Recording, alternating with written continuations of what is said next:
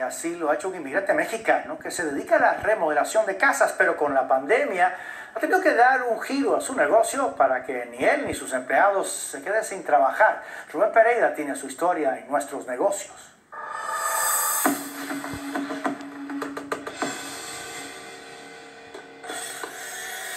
La remodelación de viviendas ha sido la especialización de Juan por los últimos 15 años. Sin embargo, la crisis del coronavirus puso en peligro su negocio. Tenía varias cocinas que, que estaba en propuesta y, y todos cancelaron porque tienen miedo de, de, pues, de la enfermedad, no quieren nadie en sus casas ahorita. Pero Juan se percató que muchas familias en las afueras de Chicago están comprando albercas prefabricadas porque no saben hasta cuándo los parques acuáticos estarán cerrados. Por eso se le ocurrió el ofrecer construir plataformas para ese tipo de piscinas.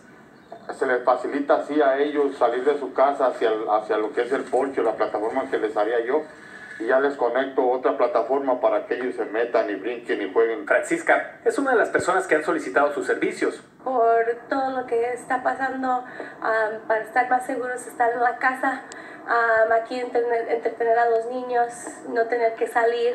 Desde que Juan empezó a ofrecer sus servicios de construcción de plataformas para albercas hace tres semanas, ha tenido más de 50 pedidos, lo que le ha garantizado ingresos por el resto del año para él y sus tres empleados. Incluso tendrá que contratar más trabajadores.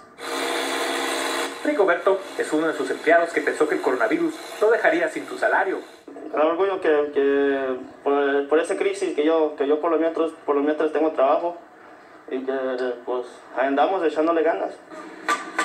Por eso Juan recomienda a otros latinos que están batallando con sus negocios a buscar alternativas y no darse por vencidos. Es la decisión de nosotros de estar batallando o acoplarnos a lo que realmente se va a vivir. Rubén Pereira, Noticias Telemundo.